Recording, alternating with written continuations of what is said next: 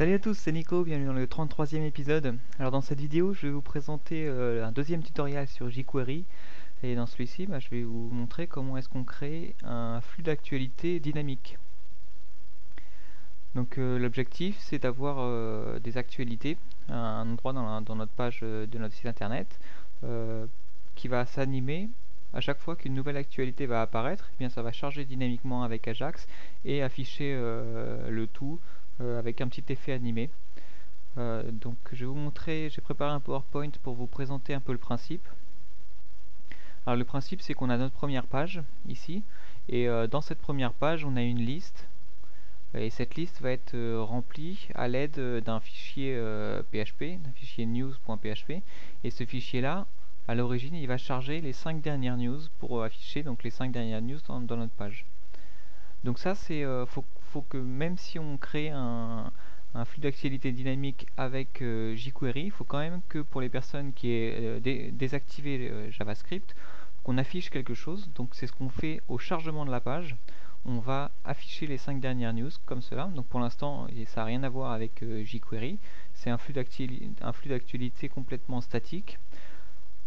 Et là où jQuery va intervenir, c'est que ensuite, toutes les 5 secondes, euh, ou, le délai euh, qu'on souhaite, on va avec euh, jQuery appeler une seconde fois ce fichier news.php et cette fois-ci lui demander de récupérer les news plus récentes que la dernière qu'on a déjà affichée, donc dans notre cas les news plus récentes que la news 6, et les afficher une par une.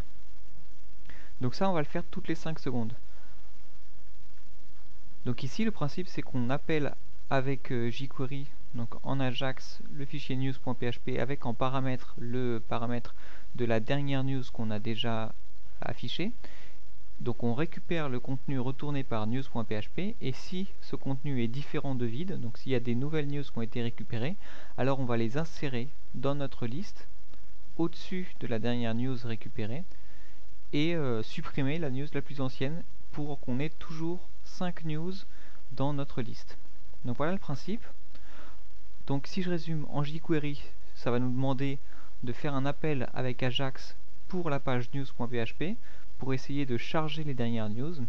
Et si on récupère une news, alors on, l'insère dans euh, notre liste UL et on, supprime le dernier élément de cette liste. Et si on récupère euh, rien, s'il n'y a aucune news plus récente que la dernière qu'on a déjà affichée, alors on ne fait rien. Ensuite, donc notre fichier news.php, il va faire deux choses. La première, c'est euh, au chargement statique de la page. Il va nous aider à récupérer les 5 dernières news de notre base de données. Et euh, la seconde chose, c'est qu'il va ensuite nous aider à récupérer les dernières news une par une avec euh, ce chargement Ajax. Dans tous les cas, il va falloir indiquer à notre script quelle est l'idée, l'ID de notre dernière news récupérée. Donc ça, on va voir comment on fait. Donc le fonctionnement statique, il n'y a rien à redire, c'est un select avec un limit 5 pour euh, récupérer les 5 dernières news.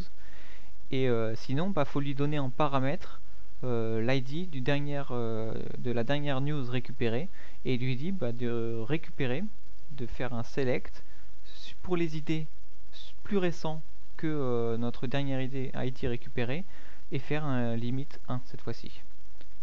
Donc voilà ce qu'on fait pour le fichier news.php. Ensuite, euh, comment est-ce qu'on va indiquer à notre fichier JavaScript euh, la dernière news qu'on a récupérée? Bah, On va faire dans le code PHP, euh, on va rajouter ça, dans cette ligne-là, dans notre code PHP. Et donc, cette ligne-là va faire une instruction JavaScript pour appeler la fonction setID avec l'ID de la dernière news donc ça, c'est dans notre fichier PHP. Donc ça, on le fait dynamiquement. À, chaque chargement Ajax, il y aura cet appel euh, JavaScript qui va être fait grâce au fichier PHP. Et ensuite, dans notre code JavaScript, eh bien, on a une fonction setID qu'on trouve ici.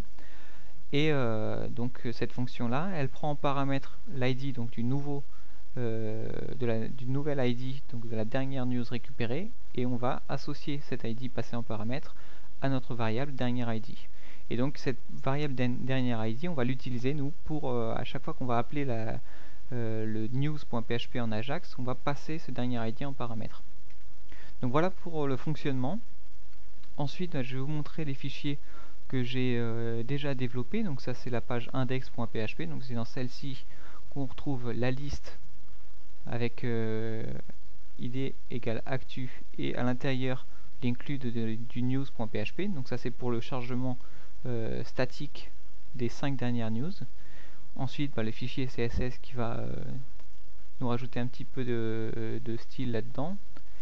Et donc le news.js si vous avez bien remarqué, j'ai inséré le news.js là dans, le, dans, le, dans la valise head, mais j'ai aussi inséré la dernière version de jQuery, donc c'est la jQuery 1.5 qui est sortie dernièrement.